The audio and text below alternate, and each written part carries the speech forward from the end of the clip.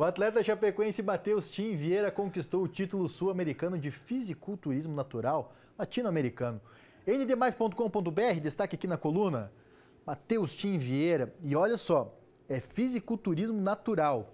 Isso significa que não pode usar bomba, não pode usar o, os anabolizantes. E esses atletas, eles passam por um controle de, de dopagem muito grande, é coisa de nível olímpico mesmo para evitar que eles façam uso aí do, de coisa que não pode, né? O suquinho que eles falam lá. Uh, agora ele se classificou para o Mundial nos Estados Unidos, o Matheus Tim Vieira. Estava conversando com ele, Badá, é, que não pode tomar bomba, né? Tem que ser no exercício não, e na alimentação. Controle de doping Isso. é muito rigoroso, né? Ele falou que vai voltar dos Estados Unidos, primeira coisa que vai fazer, vir para Chapecó comer o costelão do, do pai dele.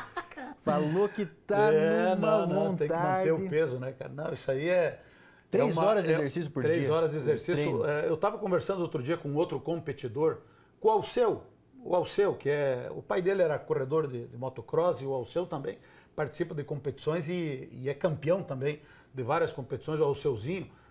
É, que ele me falou que num dia ele teve que tomar 9 litros de água. Bem, 9 litros de água para poder se manter dentro do peso para poder competir dentro da categoria do cara. É bastante. 9 litros de água, eu não consigo tomar um. Mas se for um chopinho? É, daí dois.